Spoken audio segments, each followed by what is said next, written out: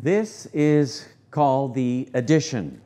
The addition for the Troop Elevation Pillow, it adds on to the base unit, the base unit elevation pillow here, and its addition like so. This was the suggestion from the UT Southwestern group, uh, UT Southwestern Houston, who reported to me that they routinely take care of five, six, and 700 pound patients. Fortunately, in my practice, uh, I've only made it up to a little over 500 pounds at this point.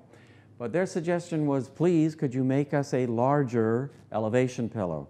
What we did was make it modular so that the addition is meant to line up uh, exactly with the Troop Elevation Pillow, its base unit. It's still designed to be used with a head cradle. And as a guideline, this was developed for patients with a body mass index of greater than 50, or in other words, by definition, a super morbidly obese patient, or on average, as a guideline, a patient that's greater than 450 pounds. Quentin at 6'3", 6'4", our model patient today, a little over 300 pounds.